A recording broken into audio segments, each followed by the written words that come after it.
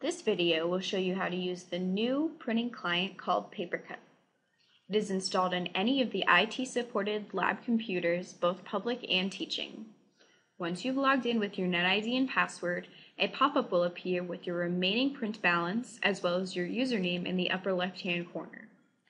If you choose Details, your web browser will open up a page for you to log in with your NetID and password.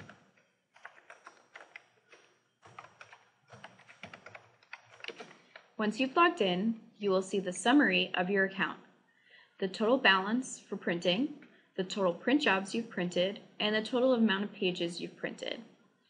In transaction history, you will see the date that that print job was created, the amount it cost, and the balance left over afterwards. In recent print jobs, it will show your entire history of print jobs, the date that they were printed, the printer that was selected, the pages of that print job, the cost of it, the document name, and whether it was printed or canceled. If you choose to print from your own personal computer, you will visit printit.montclair.edu.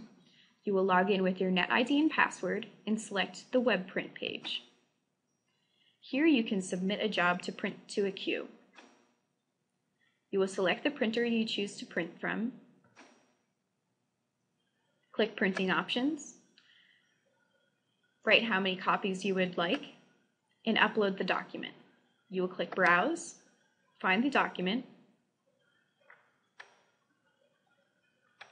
and click Open.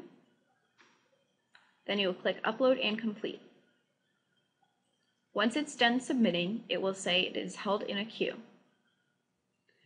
When you come to where you choose to print from, in the fifth floor in University Hall, there will be computers next to the printers. Each of them will have a release station which looks like this, where you can log in with your NetID and password.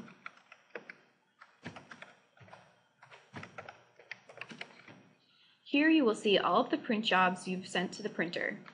It will show the IP address from which the, pr the print job was sent and the cost of the print. You can choose to print or cancel any of the print jobs you would like to print. Once you are done, you will click Done and you will be logged out.